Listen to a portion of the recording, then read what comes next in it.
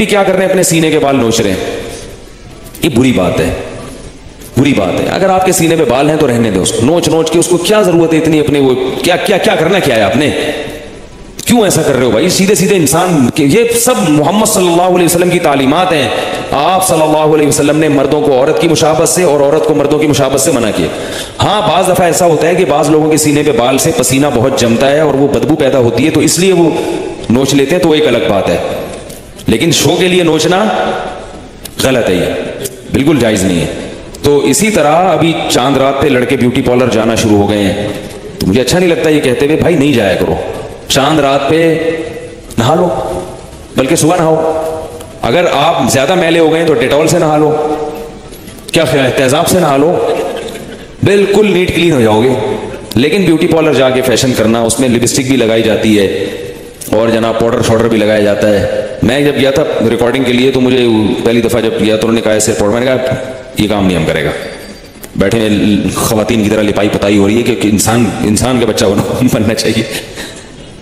तो ये तो लड़कियों के काम है उन पे ठीक है, वो जाए ब्यूटी पार्लर मर्द के लिए ब्यूटी पार्लर चाहे दूल्हा भी बनो ना ब्यूटी पार्लर में जाओ। मैं जायज़ ना जायज़ होने का फतवा नहीं दे रहा।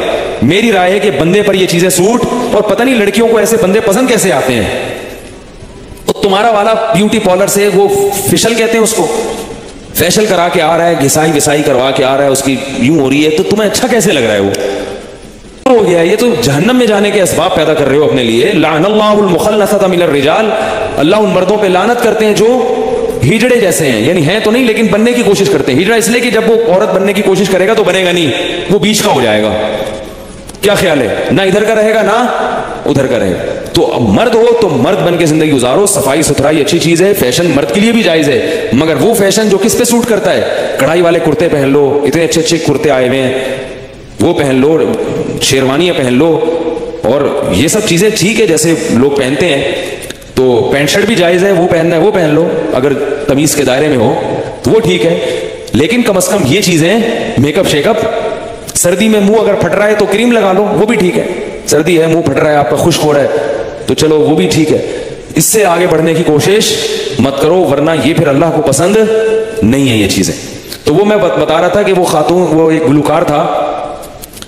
उस पर लड़कियाँ बड़ी मरती थी। हमें पता नहीं कि उन मरती क्यों, उनमें कौन सा हुसन होता है। वो फ़र्क तो हमें नज़र नहीं आता कि इनमें से लेडीज़ कौन है जेंट्स कौन है। लेकिन खैर, मरती थी उसकी उसकी गुलकारी पे। तो लोग उसके बारे में बातें करते थे कि भाई ये जिससे शादी करेगा ना, जिस लड़की से वो बड़ी खुशकिस्मत होगी। खैर, उसको एक पसंद आ गई और उसकी शादी हो गई। मुझे उस गुलकार का नाम याद नहीं है बचपन का वाक्य है। तो जब शादी हो गई ना, छह महीने बाद लड़की ने तलाक ले ली। लोग हैरान के इतना बड़ा गुलकार, इतना वो, तुमने इससे डिवोर्स ले ली, क्यों भाई? उसने कहा, जितनी देर मैं मेकअप करती हूँ ना, उतनी ही देर ये भी करता ये हर वक्त शीशे के सामने बैठा रहता है और अपनी कभी पलकें सेट कर रहा है, कभी अपने रुखसार पे वो मालिश कर रहा है, कभी यूँ कर रहा है, नोक पलक। तो मुझे इसमें निस्वानियत की बू आ रही है। किस चीज़ की निस्वानियत को आसान समझ लेडीज़ पन की बू आ रही है। मुझे बंदा चाहिए था, ये तो मेरे जैसा ही है। हालाँकि वैसे मर्द था वो कोई ये नहीं कि ना मर्द था, लेकिन उसकी हरकतें क्या हैं, मुझे क्या चाहिए? अपने जैसा अपने जैसा थोड़ी चाहिए, मुझे तो बनना चाहिए तो ये बंदा नहीं है। तो इसलिए बंदा बनो, वो पंजाबी लोग कहते हैं ना बंदा बन बंदा, सुना है कभी?